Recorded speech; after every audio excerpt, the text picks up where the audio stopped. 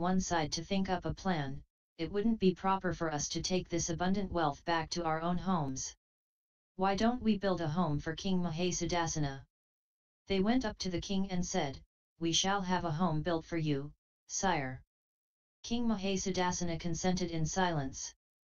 And then Sakka, Lord of Gods, knowing what the king was thinking, addressed the god Vissakamma, Come, dear Vissakamma, build a palace named Principle as a home for King Mahasudassana. Yes, Lord, replied Vissakamma. Then, as easily as a strong person would extend or contract their arm, he vanished from the gods of the 33 and appeared in front of King Mahasudassana. Vissakamma said to the king, I shall build a palace named Principle as a home for you, sire.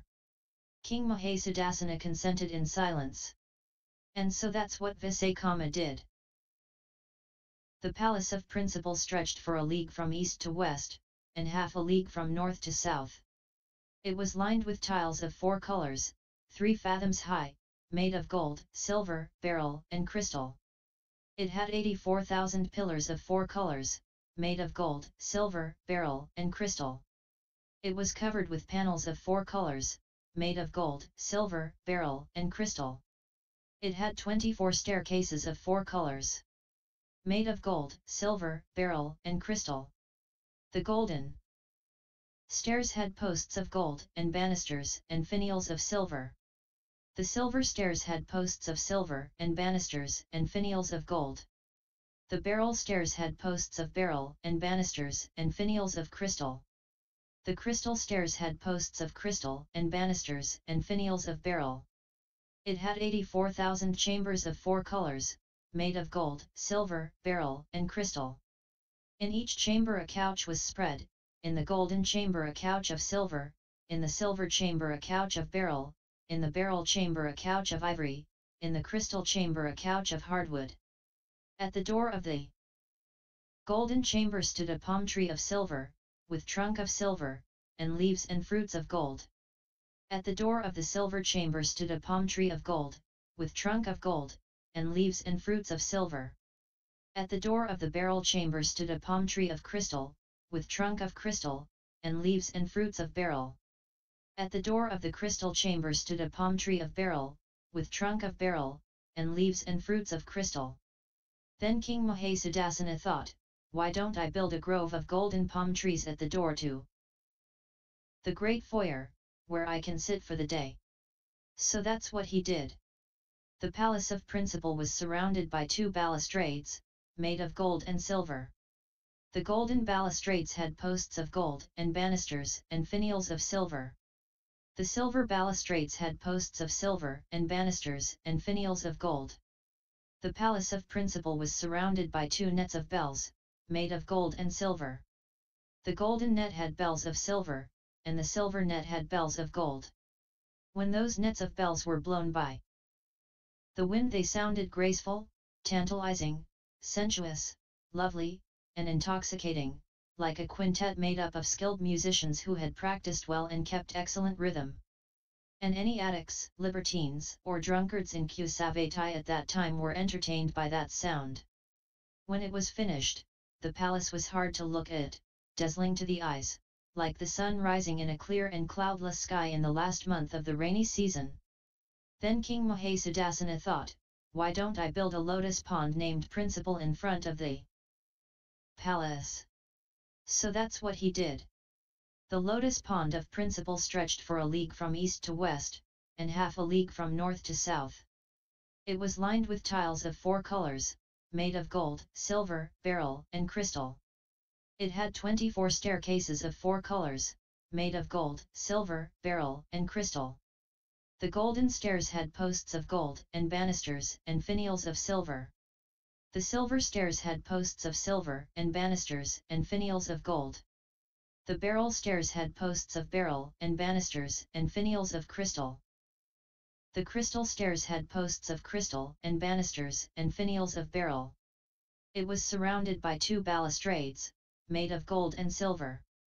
The golden balustrades had posts of gold and banisters and finials of silver. The silver balustrades had posts of silver and banisters and finials of gold. It was surrounded by seven rows of palm trees, made of gold, silver, beryl, crystal, ruby, emerald, and all precious things. The golden palms had trunks of gold, and leaves and fruits of silver.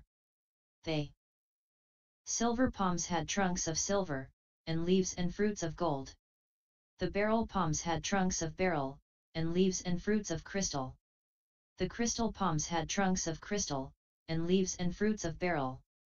The ruby palms had trunks of ruby, and leaves and fruits of emerald. The emerald palms had trunks of emerald, and leaves and fruits of ruby.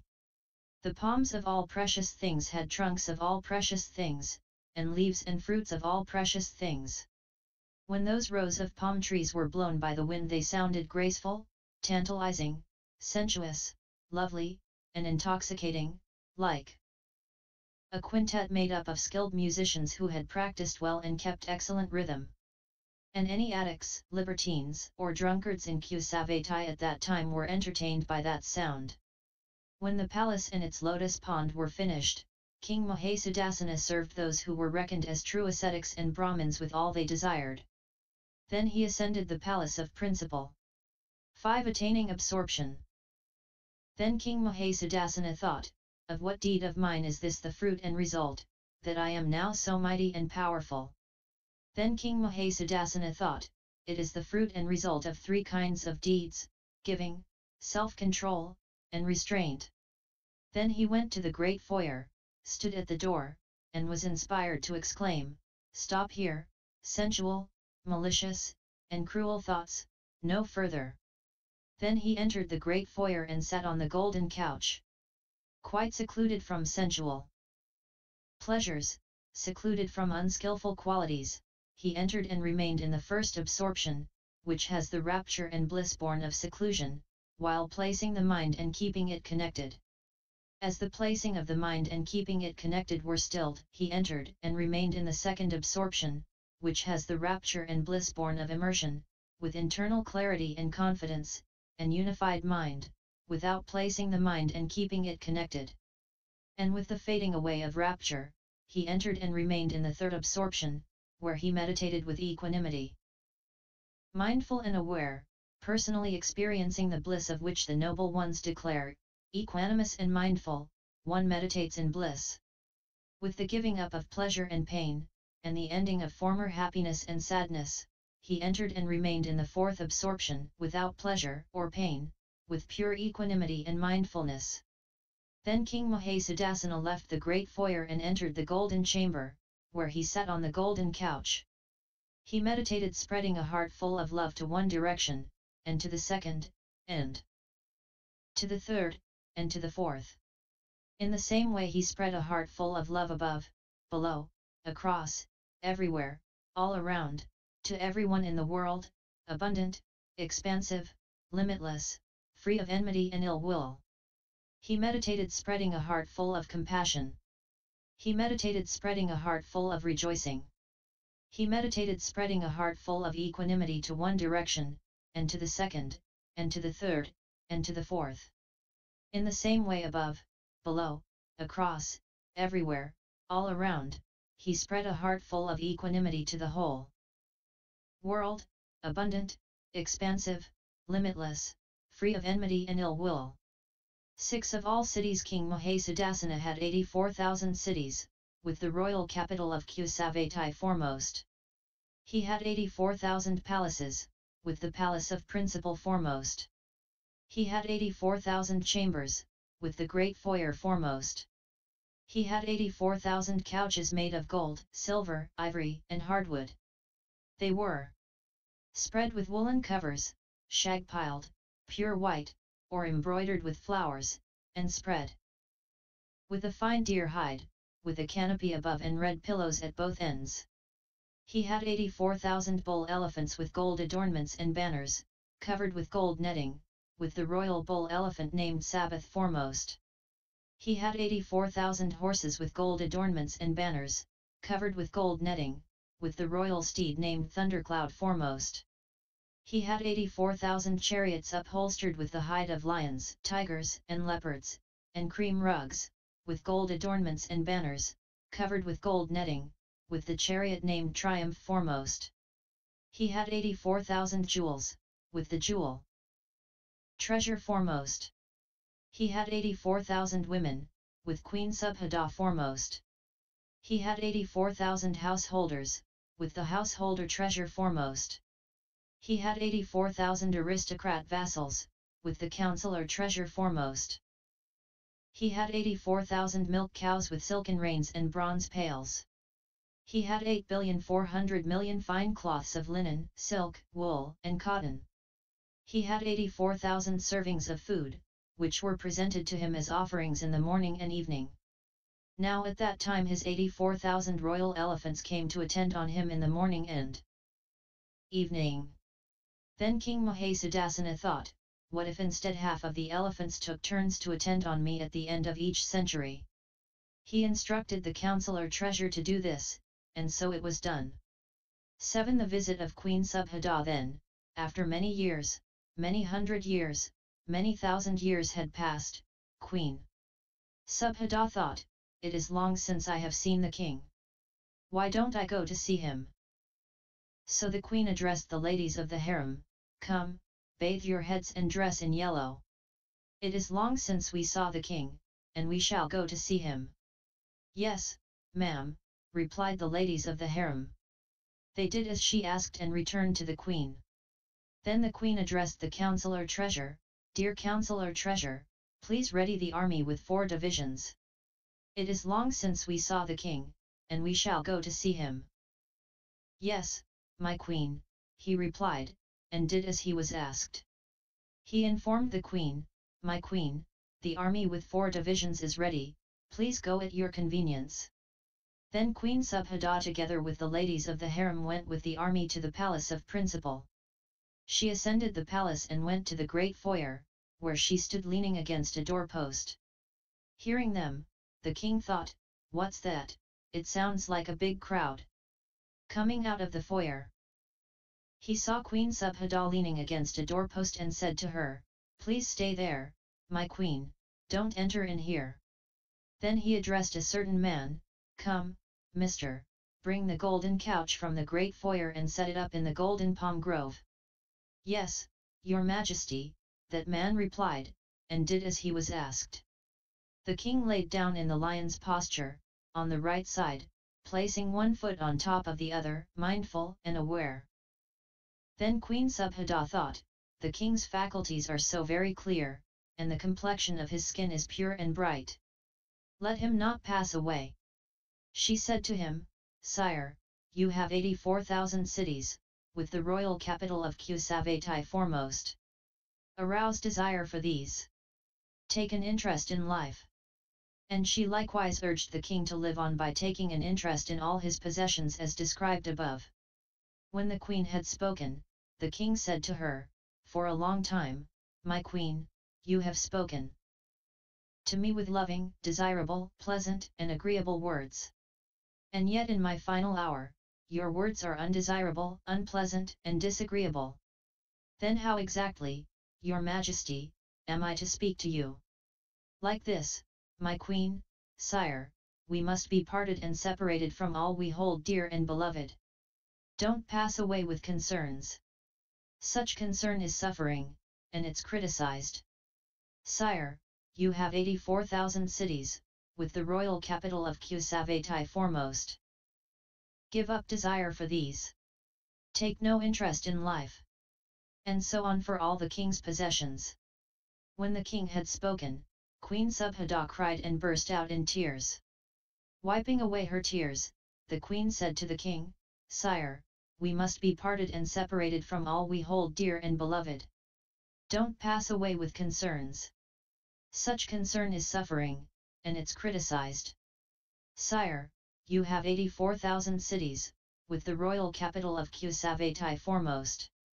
Give up desire for these. Take no interest in life. And she continued, listing all the king's possessions. 8. Rebirth in the Brahma realm Not long after that, King Mahasudassana passed away. And the feeling he had close to death was like a householder or their child falling asleep after eating a delectable meal. When he passed away King Mahasudassana was reborn in a good place, a Brahma realm. Ananda, King Mahasudassana played children's games for 84,000 years. He ruled as viceroy for 84,000 years. He ruled as king for 84,000 years. He led the spiritual life as a layman in the palace of principle for 84,000 years. And having developed the four Brahma meditations, when his body broke up, after death, he was reborn in a good place, a Brahma realm. Now, Ananda, you might think, surely King Mahasudassana must have been someone else at that time. But you should not see it like that. I myself was King Mahasudassana at that time. Mine were the 84,000 cities, with the royal capital of Kusavati foremost. And mine were all the other possessions. Of those 84,000 cities, I only stayed in one, the capital Kusavati. Of those 84,000 mansions, I only dwelt in one, the palace of principle. Of those 84,000 chambers, I only dwelt in the great foyer. Of those 84,000 couches, I only used one, made of gold or silver or ivory or heartwood. Of those 84,000 bull elephants, I only rode one, the royal bull elephant named Sabbath. Of those 84,000 horses, I only rode one, the royal horse named Thundercloud. Of those 84,000 chariots, I only rode one, the chariot named Triumph. Of those 84,000 women, I was only served by one, a maiden of the aristocratic or merchant classes. Of those 8,400,000,000 cloths, I only wore one pair, made of fine linen, cotton, silk, or wool. Of those 84,000 servings of food, I only had one, eating at most a serving of rice and suitable sauce. See, Ananda. All those conditioned phenomena have passed, ceased, and perished. So impermanent are conditions, so unstable are conditions, so unreliable are conditions. This is quite enough for you to become disillusioned, dispassionate, and freed regarding all conditions.